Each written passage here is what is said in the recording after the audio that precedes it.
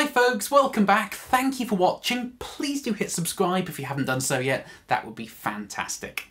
Today guys, I have my homemade Esquire, and you might have seen my video the other day, I'll put a link up there to it now if you haven't, where I was experimenting with two different pickups in my white telly.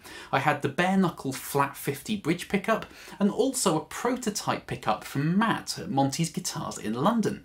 And both of those pickups were their takes on the kind of early Esquire broadcaster, very hot output, telly style pickup thing. And if you don't want to watch that video and just know the gist of it, basically the bare knuckle had a really nice crisp high end that we would typically associate with tellies.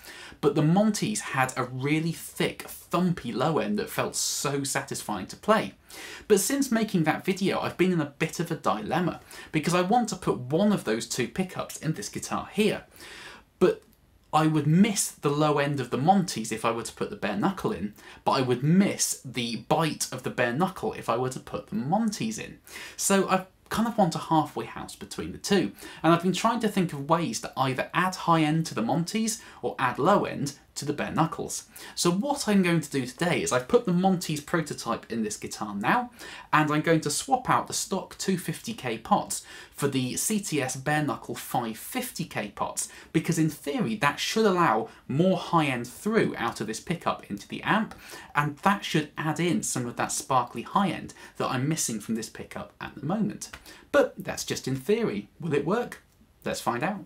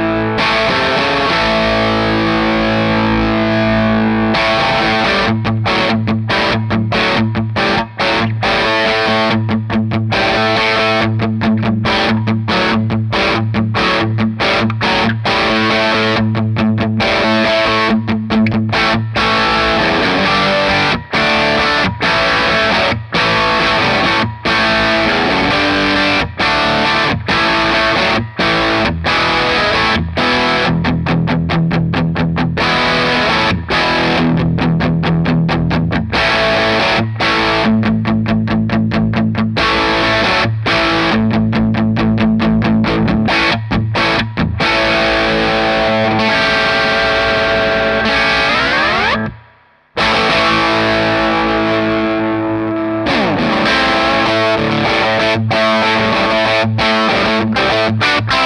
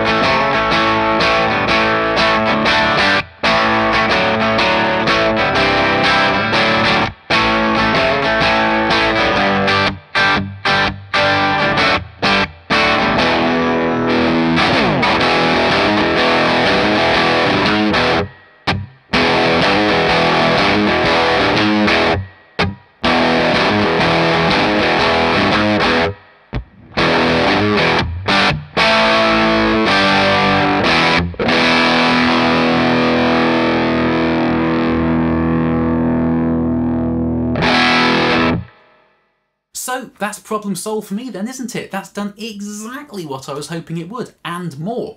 That lovely, crisp, defined high end that I've been searching for is now there. Those old 250k pots were dumping a lot of it to ground. These 551s are letting it all come through and sound amazing. Plus, the output is higher, which feels fantastic to play, and also there's a lot more clarity to this pickup now. It's not just from having more treble on the top, it definitely sounds less muffled low down. But as always, these things are all personal preference and very subjective, so please do comment underneath, let me know which pots you prefer with this pickup and why. I do love chatting nerdy guitar stuff with you guys, it's a lot of fun. So thank you ever so much for watching guys, I hope that was interesting. Please do hit subscribe if you haven't done so yet because that really, really does help me to grow this channel. And yeah, I will see you next time. Bye bye.